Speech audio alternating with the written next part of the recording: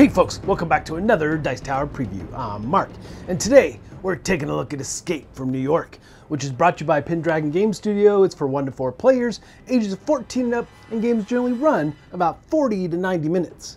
Escape from New York transports you into the iconic atmosphere of the movie, filmed in 1982 by the movie master John Carpenter.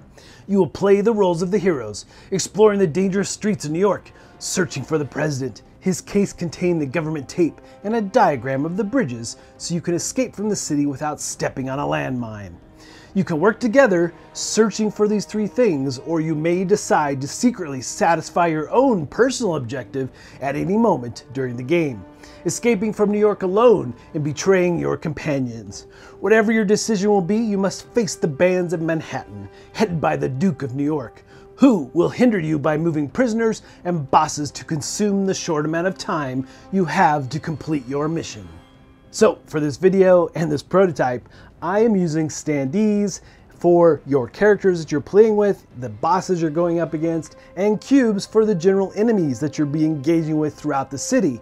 Now, in the final version of the game, they're going to have a fantastic, amazing miniatures. So give that a closer look for sure if you want to know what those look like. I have a couple here to show you. But in general, you know, through the course of this video, you're just gonna see these standees and so forth. So keep that in mind. But the nice thing, what Pendragon really does for all these games that are based on these movie IPs and such, they really do make you feel like you're playing the movie. So, just like the movie of the four main characters, these are the characters we'll be using and playing throughout the course of the game. And number one, we have Snake Plissken, obviously. And then we have Brain and Maggie, and we have Cabbie. All those characters are the ones you're going to be using, and each of them have their own set of unique action cards to lead you and help you through the city and take out enemies and so forth. Now, each of the characters also have their own special ability you can choose to use as well. And they'll all be leveling up through the course of the game, which will allow you to add more cards in your hand, more action cards, giving you more special abilities and so forth. So again, those cards are unique to each of the characters, and it just depends on what style you like to play, but you are trying to play together unless you aren't and you're trying to go for one of those personal objectives and betray your fellow players. But I really like the co-op nature of trying to get out of the city where you have to find the president, you have to find his tape, and you have to find the plans for the bridges to get out of the city so you don't get blown to bits when you try to cross the bridge. So you have to have all those things in hand in order to cross the bridge and win the game. Each of the characters have their own starting unique gear as well. Cabbie has his taxi. You have a diagram of the bridge from Brain, and Maggie has her revolver. And of course, Snake has his SMG.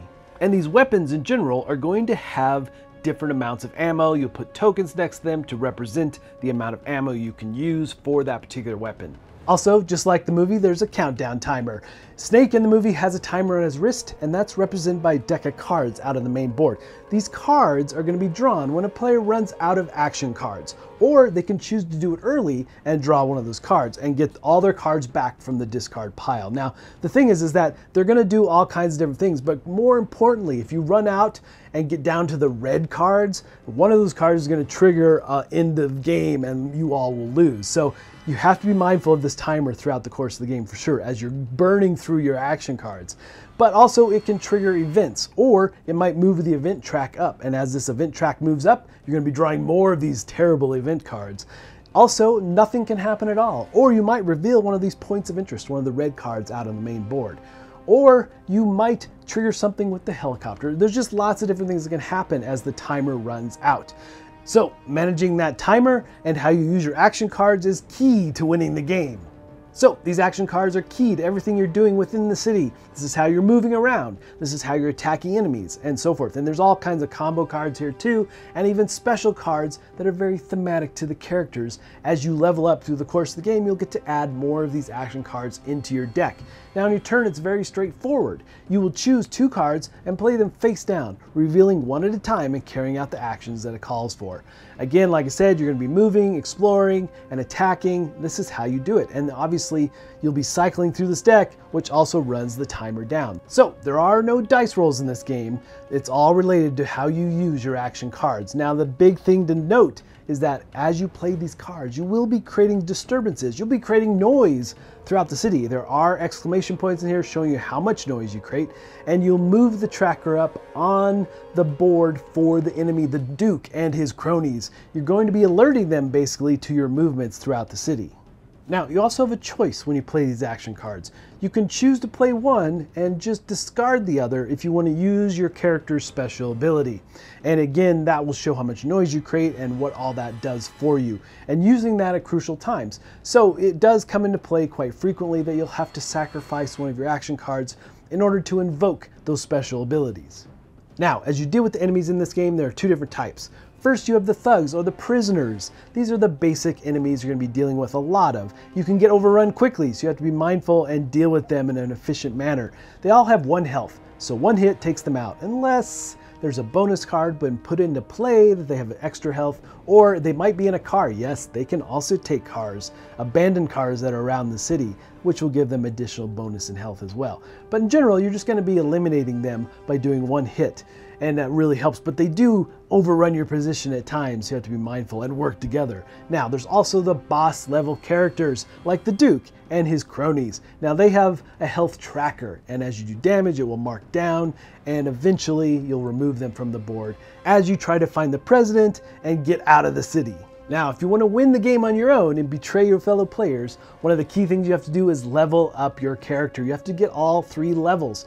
And through the course of that, there are going to be different requirements for the different slots. Like for Snake, he needs to kill two enemies in order to complete level one. And then you'll move that off the slot and you'll get a new action card. And as you move through the different levels, you'll get action cards and you'll be able to get different personal objectives if you so choose.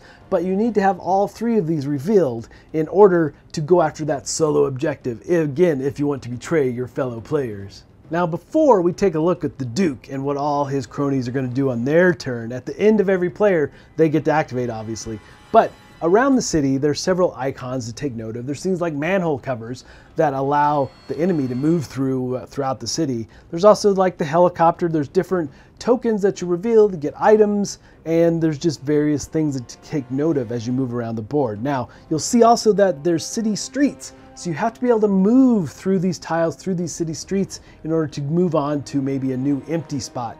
And as you move to an empty spot, you're going to be drawing a new card and placing that tile on the board. Now you have to be mindful of a lot of other things like there could be roadblocks and you can use cars to blow through roadblocks and you might have special actions that allow you to blow through roadblocks as well. If you don't, then you have to go around it in some way. And there'll be enemies that appear in slots, there'll be items that appear in slots, all kinds of different things. There'll be different types of items you can get. There's item cards and different gear you can acquire as you move and explore the city. But what's most important are these point of interest spots. Now, these are the red ones, again, like I said before, and this is how you'll find the Duke and how you'll find the different types of things you need to win the game and how you reveal the different levels of bosses and what they may have for you as well. Maybe they have things you need to win the game, but those are the different main spots that you need to find to go after the main objectives for you all to win the game and escape the city. So as an example, let's take a look at this point of interest. This is the plane crash. There'll be three enemies here, just the basic ones, the thugs, and you'll see that you're going to reveal, or not reveal, but you'll put the token for case four here as well. Now, as you move onto the spot and as the enemies are completely dealt with, then you can collect that case. And in this case, you'll find the plans for Bridge 2. So that's one of the ways out of the city, one of the goals you need to achieve. And you really do have to find the Duke, though, because you have to find the president to get out. Now, after each player takes their turn, then it's time for the New York phase. This is for the Duke and his cronies to take their turn, basically. Now, you have a set of New York action cards, and the first thing you're doing is discarding one to add one noise value to the level at the top of the board. Now, obviously, like I said before, as you played your action cards, that level moves up as well. So, if the cost on the next card matches or has that amount of noise available, then you'll move it back down and draw that card and do what it says. Now there's all kinds of different things that these action cards are going to do. First we have the big plan and this one is kind of key because you'll have to move a number of mission tokens equal to the event level to the right box. And if you ever get to a point where you can't move those tokens over, then you're going to trigger one of the time cards. So that's another way the time tracker can move down.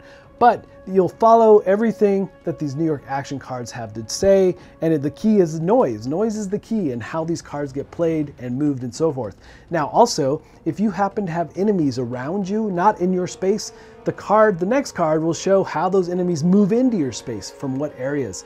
Now, if there's no enemy there, obviously they're not going to move in. And you also may be placing roadblocks. So those cards that next top of the card will dictate a lot of that.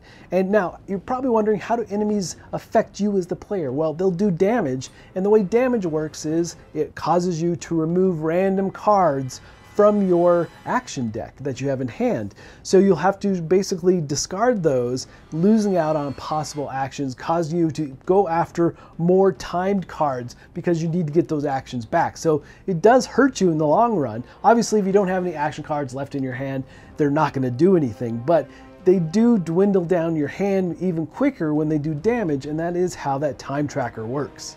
So those are the basics of what you're doing. And as you can see, if you know the movie, you're playing a lot of what's happening within the movie to achieve your goals, to hopefully save the president, find the tape, and get out of the city. Or maybe you're just trying to betray your fellow players by using your personal objectives to win the game. All right, folks, just a reminder once again, this has been a Dice Tower paid preview, and everything you've seen here has been in prototype form, so keep a close eye on the campaign for any changes that still may occur. Now, with that said, you know, along with this game and others they've done, they've done a fantastic job. I've said it before, but you really do feel like you're playing the movie. If you like these movies, this will probably be up your alley like it is for me. These are movies I've really enjoyed. Escape from New York, The Thing, they've done a good job with making you feel like you're sucked into that story, trying to fulfill the story elements and objectives that were set forth in those films. You feel like you truly are in that world. But folks, ultimately, if this looks like something of interest to you, I'm sure they'd appreciate your support. So I think that's it from me, and until next time, we'll see you at the table.